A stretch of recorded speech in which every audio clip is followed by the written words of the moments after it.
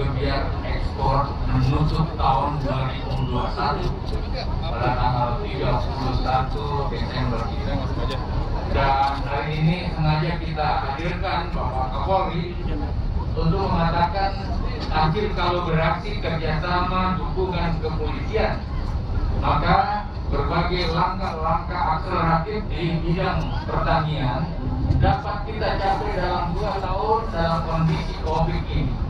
Tentu bukan hanya TNI, bukan hanya kepolisian, tetapi dukungan semua pihak. Tetapi tidak ada yang bisa jalan dengan baik tanpa keamanan yang baik. Keamanan bisa baik kalau pangan juga tersedia dengan baik. Dan di sinilah makna bersama-sama TNI dan kepolisian tentu Kapolri hari ini kami lakukan kegiatan ekspor. Anak-anak sekalian, teman-teman pers, oleh karena itu, sebagaimana uh, uh, perintah Bapak Presiden bahwa tidak ada lagi provinsi, pelabuhan maupun kabupaten dan kota yang tidak ekspor ke depan.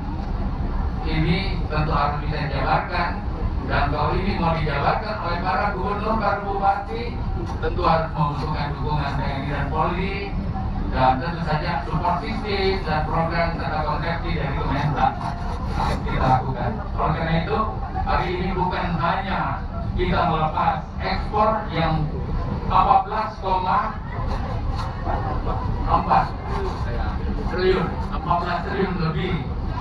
Nah itu tadinya kita rencanakan sekitar 7 triliun, ternyata lebih.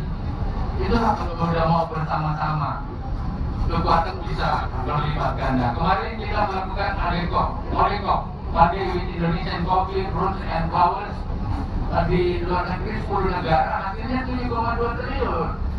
Kalau begitu, perdana kita menjanjikan membutuhkan kerjasama, membutuhkan semangat para gubernur, para bupati, dan dukungan para uh, jajaran kepolisian dan TNI untuk kita sama-sama mengakselerasi pertanian sebagai bagian dari kebutuhan pangan nasional dan ruang-ruang ekspor yang bisa kita lakukan. Saya kira itu yang dapat saya sampaikan ini.